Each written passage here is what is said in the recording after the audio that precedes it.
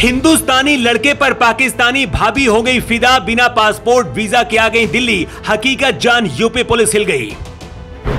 चार बच्चों के साथ करने जा रही थी शादी, तभी आ गया कहानी में नया ट्विस्ट। इससे पहले भागते योगी की पुलिस ने घेर लिया। सीमा हैदर अपना घर बेचकर भारत आई, पुलिस ने हथकड़ी लगाई, लेकिन असली सच जानकर खुद योगी भी टेंशन में आ गए। पुलिस के साथ खड़ी इस महिला का नाम सीमा गुलाम हैदर है। अपनी मोहब्बत के लिए अमीर घर की पाकिस्तानी लड़की सीमा पार करके बिना वीज़ा और पासपोर्ट के पाकिस्तान से भारत आ गई है। ये कहानी शाहरुख खान की फ़िल्म वीर जारा की तरह फ़र्क सिर्फ़ इतना है, शाहरुख खान को पाकिस्तानी लड़की से प्यार हुआ था और इस प्रेम कहानी में इस लड़की को हिंदुस्तानी लड़के से प्यार हुआ है। एक कहावत है खेल खेल में प्यार हो गया। ऐसा ही प्यार पाकिस्तानी भाभी को पबजी खेलते खेलते हिंदुस्तानी लड़के से हुआ। ये प्यार इतना भयंकर वाला है कि सीमा हैदर पाकिस्तान से अपने चार बच्चों के साथ भारत आ गई। प्रेमी के साथ शादी करने की तैयारी हो रही थी, लेकिन तभी खबर योगी आदित्यनाथ के पास पहुँच गई।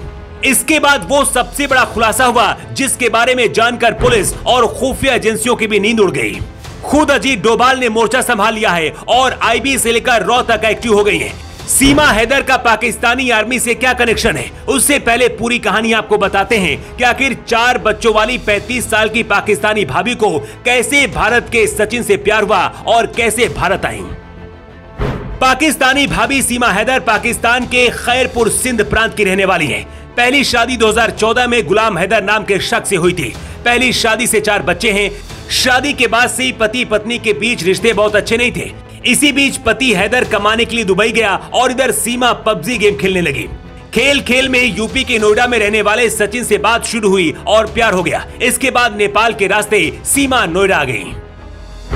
सीमा हैदर पिछले करीब डेढ़ साल से अपने प्रेमी के साथ नोएडा में रह रही थी। इसके बाद अपने प्रेमी के साथ कानूनी रूप से शादी करने के लिए वकील के पास पहुँची थी। वकील को शक हुआ तो उसने पुलिस को जानकारी दे दी। इसके बाद योगी आदित्यनाथ के पुलिस ने बिना देर किए हरियाणा से दोनों को पकड़ लिया। सीमा हैदर का कहना है कि मैं मर जाऊँगी, लेकिन अब वापस पाकिस्तान नहीं जाऊँगी।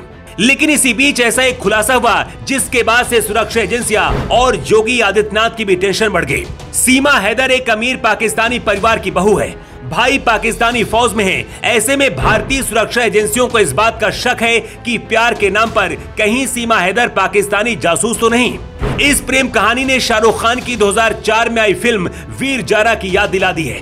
जिस तरह से शाहरुख खान को पाकिस्तान में जेल हो जाती है, उसी तरह से सीमा हैदर को हिंदुस्तान की जेल में बंद कर दिया गया है। सुरक्षा एजेंसियाँ पूछताछ कर रही हैं। सीमा हैदर के प्रेमी सचिन ने बताया है। हमारी मुलाकात पबजी गेम पर हुई। इसके बाद ये नेपाल आई थी और 10 मार्च को हम दोनों नेपाल में मिले थे। नेपाल में मिलने के बाद हम दोनों कुछ दिन वहाँ पर रहे और इसके बाद ये पाकिस्तान वापस चली गई थी। इसके बाद वो अब भारत आई है और हम दोनों इधर उधर घूम रहे थे। इसके बाद पुलिस ने हमें पकड़ लिया। हमारी सरकार से बस यही मांग है कि हम दोनों की शादी करा दी जाए। मामला पाकिस्तान से जुड़ा है, इसलिए सुरक्षा एजेंसियाँ भी पूरे मामले में फूक फूक कर पैर रख रही हैं। लेकिन अगर सीमा हैदर जाँच में निर्दोष भी पाई जाती हैं तो बिना पासपोर्ट और वीज़ा के भारत में आने की वजह से सजा हो सकती है। वैसे आपको क्या लगता है, अगर जाँच में निर्दोष पाई जाती है तो क्या सीमा और सचिन की शादी करा देनी चाहिए? आपकी क्या राय है? कमेंट बॉक्स पर लिखकर आप ज़रूर बताइएगा। दराशिद के लिए ब्यू रिपोर्ट।